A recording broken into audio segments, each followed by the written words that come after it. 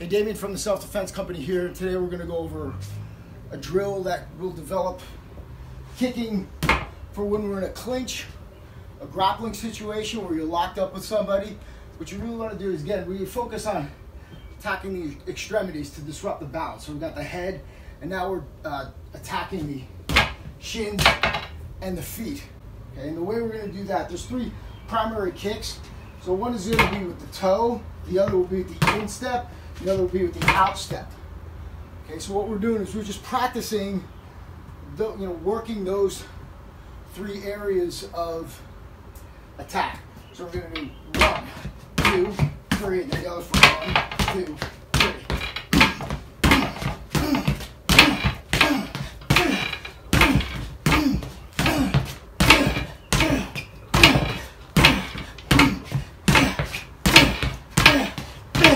Okay, now with that three count kick drill, it, you know, the application is really when you're grappling with somebody and you're moving around and you need to get them off balance. So we're gonna be locked up in here. Okay, I'm gonna be kicking, kicking, moving, so I can so I can open them up a bit.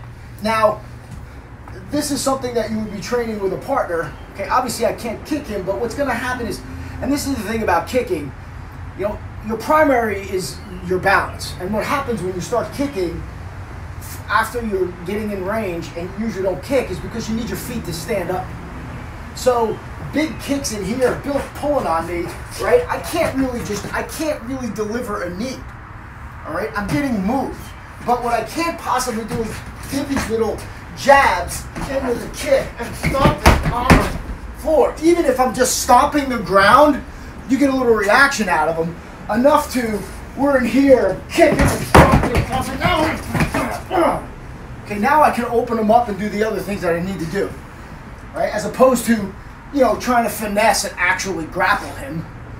I mean, kicking the shins, you wear shoes. You know, I don't think he's wearing shin guards, right? If he does, well, one up on you. But again, still stomping and moving, you'll still get a reaction out of him. So that's where you know that's where this these uh, these types of techniques are terribly effective. Using the edge of our feet, using our feet to disrupt his balance. We're hitting below the shins. We're hitting the tops of his feet. Okay, we're hitting uh, you know anything that's going to cause him pain and discomfort. Take him off balance so he can't grapple with us. So he can't strike or stab us. Okay, if he can't, if he doesn't have his balance, he's not going to be able to generate power. Okay? So, enjoy that drill. Again, this is Damian from the Self Defense Company. If you haven't already, please give a subscribe. Much appreciated. Hit the bell. We'll let you know when a new video's up. Of course, look underneath. We've got all kinds of free stuff for you.